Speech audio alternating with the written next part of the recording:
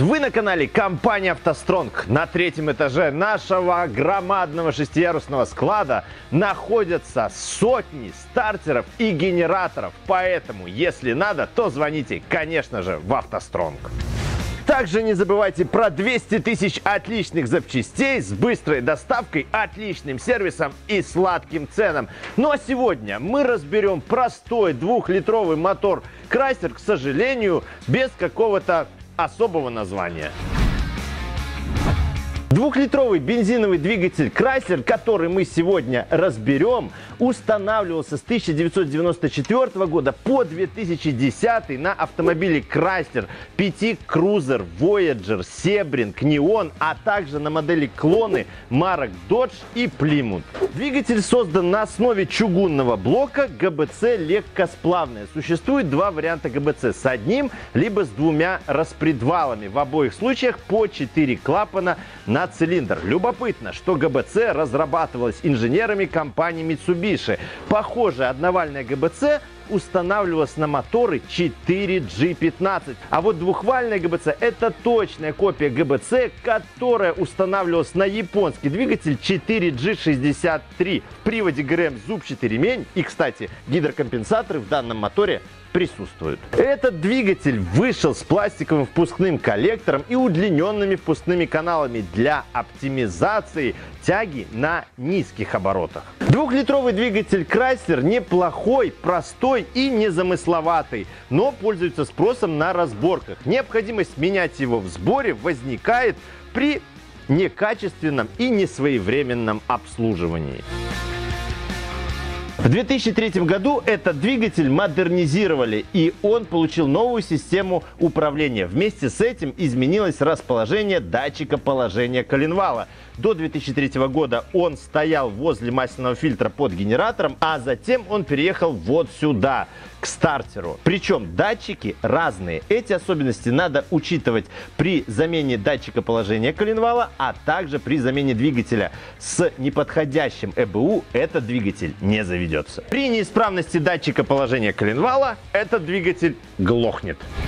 Срок службы опор двигателя примерно 150 тысяч километров. При износе демпфера опор появляются вибрации и толчки при резком нажатии и отпускании педали акселератора. Как вы уже обратили внимание, двигатель у нас без навесного оборудования, но всю навеску мы нашли на нашем огромном шестиярусном складе. Помните, что в автостронге 200 тысяч качественных запчастей. Проблема, присущая всем двигателям Chrysler, это масло во впускном коллекторе и увеличенный расход масла на угар. Причиной этому маслоотделитель в системе вентиляции картерных газов и клапан системы вентиляции картерных газов. Замечено, что клапан неудачно расположен и при резких поворотах направо его буквально заливает масло и масло стекает во впускной коллектор. Для устранения данной проблемы надо снимать клапанную крышку, отмачивать штатный маслоотделитель. Также стоит поменять клапан системы вентиляции картерных газов. Замечено, что эта проблема никак не портит жизнь двигателю, кроме как добавляет жора масла.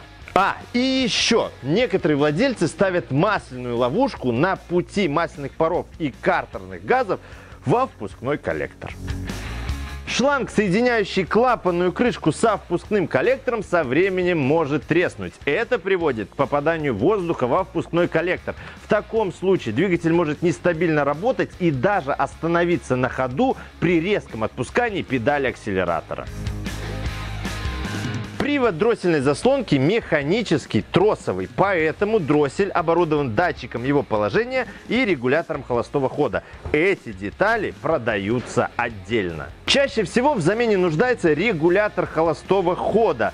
В таком случае двигатель держит очень высокие обороты. Причем обороты могут хаотично подскакивать и падать. Двигатель может заглохнуть. При неисправности датчика положения заслонки фиксируется ее некорректное положение. И двигатель может не слушаться педали акселератора. При диагностике будет видно положение заслонки и то, что оно не соответствует реальному. Двигатель Chrysler 2.0 оснащен сдвоенной катушкой зажигания. Эта катушка имеет достаточно большой срок службы. При проблемах с искрообразованием чаще всего нуждаются в замене высоковольтные провода и свечные наконечники. Топливные форсунки на двигателе Chrysler надежные, имеют хороший ресурс. Но стоит их проверить, если двигатель троит и неровно работает. А все детали системы зажигания уже заменены, либо проверены. Также может обнаружиться износ либо выход из строя одной из форсунок, после чего двигатель будет троить. Говорят, что о нем много пишут в комментариях. Итак, встречаем Павел! И мы начинаем нашу разборочку.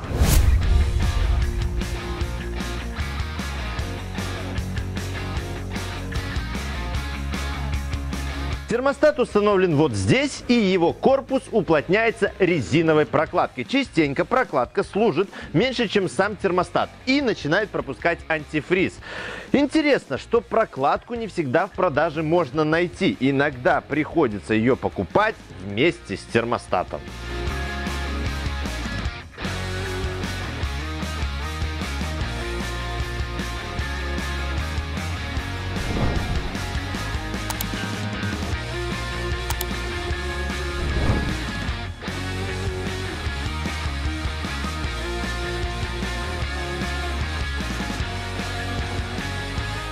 Двигателя Chrysler 2.0 пластиковая клапанная крышка, и поэтому с годами появляется течь масла по ее прокладке, а также течь масла появляется и по датчику давления масла. Эти проблемы легко решаются заменой прокладки и заменой датчика, который обычно течет по своему разъему. Вот прокладка. Вот маслоотделитель, который иногда нуждается в чистке. Также здесь мы видим сальники свечных колодцев, которые со временем тоже дубеют и теряют эластичность.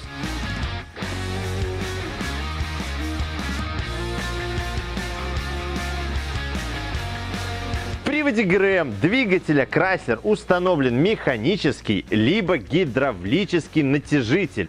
На моторах 2000 или 2002 модельных годов стоит либо механический, либо гидравлический. Чтобы это определить, нужен только визуальный осмотр. С 2003 года всегда используется механический натяжитель, который, кстати, подходит на моторы 2000 модельного года, для которых уже механический натяжитель старого образца не выпускается. Ремень ГРМ на данном моторе надо менять каждые 100 тысяч километров.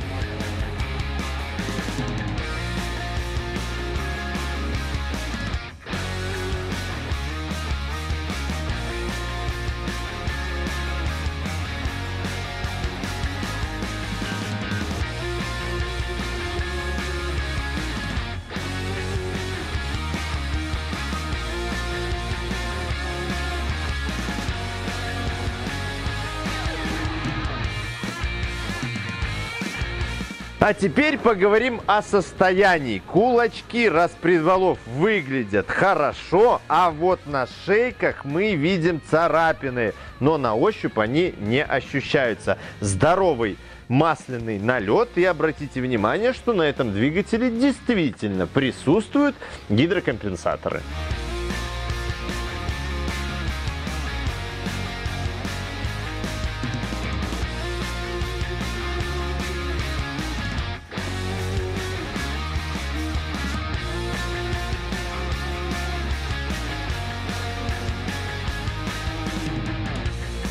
Первые экземпляры двигателя Chrysler 2.0 страдали от нарушения герметичности по прокладке ГБЦ. Обычно прокладку пробивала в районе четвертого цилиндра. Считается, что проблема заключалась в ослаблении одного из болтов ГБЦ. Компания Chrysler меняла прокладки по гарантии и с 97 года использовала трехслойные металлопакеты. Стоит отметить, что проблема проявляется до сих пор, но нарушение стыка между ГБЦ и блоком цилиндров происходит также при перегреве двигателя. Обычно прорыв газа происходит на шоссейной скорости, тогда появляются пузырьки в расширительном бачке и уровень антифриза становится меньше. Ну и что же у нас по состоянию ГБЦ? Мы видим признаки масложора. У этого двигателя чугунный блок, открытая рубашка охлаждения, ну, соответственно, чугунные гильзы. Если говорить о состоянии, то нагар на донышках поршней, хон в цилиндрах просматривается, но уже видны побежалости, то есть моторчик подустал.